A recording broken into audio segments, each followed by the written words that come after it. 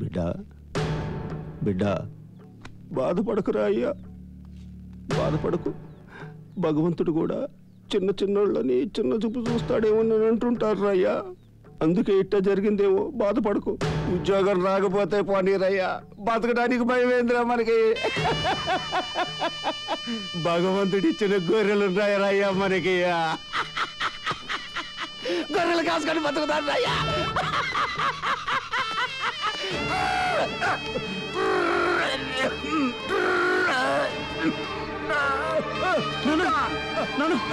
ఏమైంది నాన్న? ఏమైంది నాన్న? నాన్న రండి హాస్పిటల్ తీసుకెళ్తానంట నాన్న. నీకేం పర్లేదు నాన్న. నేనున్నా నాన్న ధైర్యంగా ఉండు. ఏమండి మా నాన్నకి? ఇందాగు మా నాన్నగారు కుంట్లో బాలేదు సార్. రోజర్ ఛార్జీలు కట్టావా? లేదు సార్. బ్లడ్ టెస్ట్ చేయించావా? చేయించలేదు సార్. యూరిన్ టెస్ట్ చేయించావా? చేయిస్తాను సార్. BP check చేయించావా? చేయిస్తాను. మరి. ఏమీ చేయించకుండా డైరెక్ట్గా వచ్చేయడమే? డాక్టర్ మా నాన్నకి వైద్యం చేయరా? ఏమో నువ్వు జూనియర్ డాక్టర్వి సీనియర్ డాక్టర్ కాదు. నువ్వు పని నేర్చుకోవడానికి వచ్చావు కానీ టెస్టులు చేయడానికి రాలా? ముందెళ్ళి డాక్టర్ని పిలవయ్యా. డాక్టర్ గారు సొంత హాస్పిటల్ పెట్టారు. మంత్రి గారి ఎంకుడికి నరాల వీక్నెస్ ఆ జ్యూస్ వచ్చేసరికి లేట్ అయిపోద్ది. డాక్టర్ గారు రావడానికి లేట్ అవుతుంది అనుకుంటే ముందు డాక్టర్ అమ్మగారిని చూడమని చెప్పండి సార్. మెడికల్ ఫీజు కట్టకుండా చెక్ చేయడం కుదరదా? మెడికల్ ఫీజా? సార్ మేము పేదోళ్ళం సార్. మీ అయ్యా? అవును సార్. ఇక్కడికి ఎందుకు తీసుకొచ్చావు? మరి ఏం చేయమంటారు సార్? డబ్బులు చూసుకొని ప్రైవేట్ హాస్పిటల్ తీసుకెళ్ళు. ఇక్కడికి ఎందుకు తీసుకొచ్చావయ్యా? తేరగా వైద్యం చేయించుకుందామనే.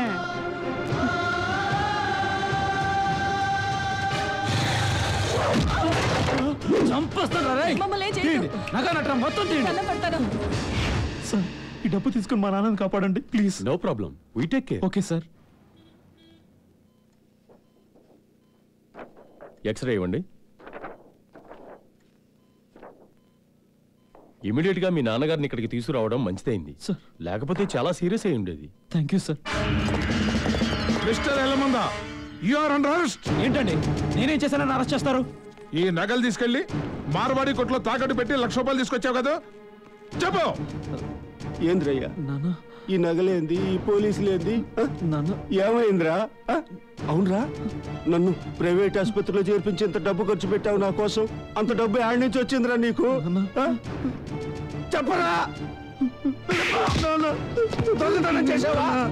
చెప్పు! చెప్పరా? అంత డబ్బు యాడ్ నుంచి వచ్చింది. చేశాను నాన్న చేశాను. దొంగతనమే చేశాను. మిమ్మల్ని బతికించుకోవడానికి నాకు వేరే దారి కనిపించలేదు?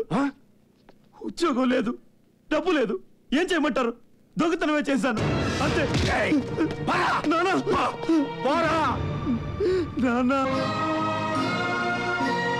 మన జూనియర్ డాక్టర్లు హాస్పిటల్కి వెళ్ళినప్పుడు అక్కడ పేదల పరిస్థితి ఏం బాగాలేదు. వాళ్ళని చూసి నా గుండె తరుక్కుపోయింది. మెడికల్ ఫీజు కట్టకపోతే హాస్పిటల్లో అడ్మిట్ చేసుకోరట. అలాంటప్పుడు మరి గవర్నమెంట్ హాస్పిటల్స్ ఎందుకు? ఈ మెడికల్ ఫీజు తగ్గించే వరకు మనం సమ్మె చేద్దాం. ఏమంటారు? We will do it what you say అవును చేద్దాం. మీరేమంటారు?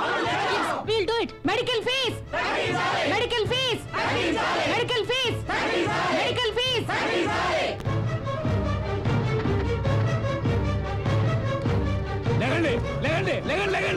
అమ్మమ్మమ్మమ్మా.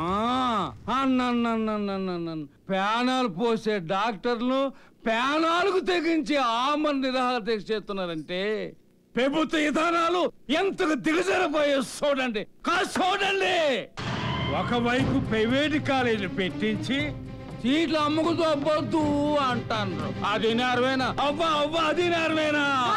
ముమ్మటికి కాదు! వాటికి నేరం కాదు. అమ్మమ్మమ్మమ్మమ్మ పాపం. ఎన్నాళ్ళ నుంచి సమ్మె చేస్తుంటే ఈ పెబుత్వం ఎక్క చేయలేదంటే ఇది గుడ్డి పెబుత్వం అవునా కాదని అడుగుతున్నాను ఇది పేదల ప్రభుత్వం కాదు ఉన్నోళ్ళ ప్రభుత్వం అందుకే అన్ని ప్రైవేట్ పరం వేసేసుకుని అమ్మేసుకుంటున్నారు. ఆ, మీరంతా ఇలాగే వల్లకుంటే రేపొద్దున మనం తాగే నీటిని పీల్చే గాలిని తొంగునే మంచాన్ని అన్ని ప్రైవేట్ పరం చేసుకుని అమ్ముకొని తినేస్తారు వీళ్ళు జమ్మలు అడిపోను. పేదోళ్ళు తెగ సావా. వీళ్ళతో తెగ. రాజేశ్వరి ఇదిగో మీ న్యాయమైన కోరికలు తీరాలంటే ఈ ప్రభుత్వం గద్దె దిగాల. మీ న్యాయమైన కోరికలు తీరే వరకు నాను నాను కూడా ఈ సమ్మెలో పాల్గొంటాను. అంతే. ఆపోజిషన్ లీడర్ అప్పారావు గారు ఆ జూనియర్ డాక్టర్ల సమ్మెను సమర్థిస్తాడా? అక్కి రాజ్యం పోస్తాడా. మెడికల్ ఫీజులు వసూలు చేస్తే వాళ్ళ సొమ్మిదో పోతున్నట్టు.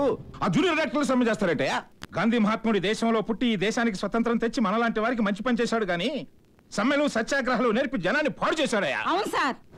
ఈ సమస్యలన్నీ చూస్తూ కూర్చుంటే మనం కూడా తెల్లవాళ్ళలాగా తెల్ల మొహాలు వేసుకుని వెళ్ళిపోవాలి. వద్దు. మనం వాళ్ళలా వెళ్ళొద్దు. ఈ సమ్మె ఇంతటితో ఆగిపోవాలి.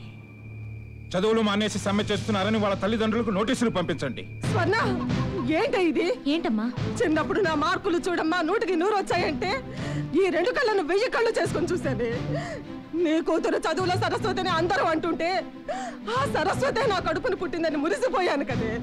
సిరంజి పట్టి డాక్టర్ అవుతామనుకున్నాను కానీ ఉద్యమాలు చేసే నాయకురాలు అవుతావు అనుకోలేదే అమ్మా. ఈ నోటీస్ ఏంటో తెలుసా? ఏంటి? నువ్వే ఉద్యమాలు గనక మానేయకపోతే నిన్ను సస్పెండ్ చేస్తామని పంపించారే. మనిషికి జబ్బు చేస్తే సిరంజి పట్టుకోవాలి. కానీ ఈ వ్యవస్థకి జబ్బు చేసిందమ్మా ఎస్ అందుకే దాన్ని పోగొట్టడం కోసమే మేము ఉద్యమం చేస్తున్నాం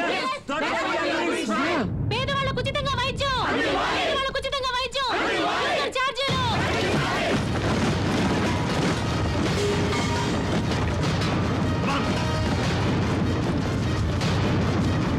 First of all, vacate this hostel. We are not going to vacate the hostel. Vacate this hostel, first of all. లాగేయండి వీళ్ళందరూ బయటికి. Hey, you. What are you doing వదలండి ఏంటి ఏంటి మీరు చేసేది? డ్యూటీ. మా డ్యూటీ మేము చేస్తున్నాం. You are doing this agitation yes ఏంటే? ఏంటే మీరు చేసే సమ్మె? అసలు అసలు అసలు మీరు ఇక్కడికి ఎందుకు వచ్చారు? చదువుకోవడానికి మరి ఇప్పుడు ఏం చేస్తున్నారు? సమ్మె. సమ్మె? హ, ఇంట్లో తల్లిదండ్రులు డబ్బులు ఇచ్చి మిమ్మల్ని చదువుకోమని పంపిస్తే మీరు ఇక్కడ సమ్మె చేస్తున్నారా? చూడు సమ్మె చట్టరీత్యా నేరం. అసలు ఈ సమ్మె ఎందుకు చేస్తున్నావో తెలుసా? యూజర్ ఛార్జీలు పెట్టి పేదలకు ఉచిత వైద్యాన్ని గవర్నమెంట్ దూరం చేసింది. అలాంటప్పుడు ఈ గవర్నమెంట్ ఎందుకు? అన్ని ప్రైవేట్ పరం చేసుకోండి. పీడ విరగడైపోద్ది. మీరు కాలేజ్లో అడుగు పెట్టిన దగ్గర నుంచి కాలేజ్ నుంచి బయట అడుగు పెట్టే వరకు ప్రభుత్వం మీ మీద ఎంత ఖర్చు పెడుతుందో తెలుసా? Lakhs lakhs of rupees government మా చదువుల కోసం డబ్బు ఖర్చు పెట్టడం ఏంటి? ఇది ప్రజల డబ్బు. అందుకే ప్రజల కోసం మేము పోరాటం చేస్తున్నాం. డాక్టర్లంటే ఎవరు? రోగుల పాలిటి దేవుళ్ళు. అలాంటి డాక్టర్లే సమ్మె చేస్తే ఆసుపత్రుల్లో రోగులు ఎన్ని ఇబ్బందులు పాలవుతారో మీరు ఆలోచించారా? మీరు మానవత్వాన్ని గురించి మాట్లాడితే దెయ్యాలు వేదాలు వల్లించినట్టుంటుంది. కనుక మీరు మానవత్వం గురించి మాట్లాడొద్దు. First of all you stop the strike మీరు మమ్మల్ని చంపినా సరే మేము ఈ సమ్మె ఆపం జూనియర్ డాక్టర్ల సమ్మె జూనియర్ డాక్టర్ల సమ్మె జూనియర్ డాక్టర్ల సమ్మె మంత్రి గారు మంత్రి గారు కానిస్టేబుల్స్, ముందు ఈ రోడ్డు క్లీన్ చేయండి మంత్రి గారు వస్తారు ముందు క్లీన్ చేయండి వెళ్ళండి. ముందు మంత్రి గారిని మా ముందుకు రమ్మనండి ఈ దేశంలో ఏ రంగంలో ఉన్న వాళ్ళైనా సమ్మె చేయొచ్చు కానీ వైద్య వృత్తిలో ఉన్న వాళ్ళు సమ్మె చేయడం సమాజానికి శ్రేయస్కరం కాదు. ఎవరి మాటలో విని ఎవరు రెచ్చగొడితేనో ఆవేశపడిపోయి బంగారం లాంటి మీ భవిష్యత్తును నాశనం చేసుకోకండి. ఇప్పటికైనా మా డిమాండ్స్ నెరవేరుస్తారా లేదా?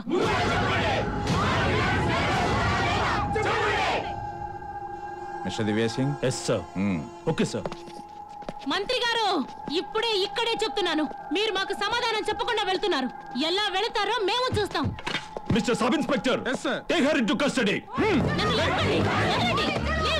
Come on constables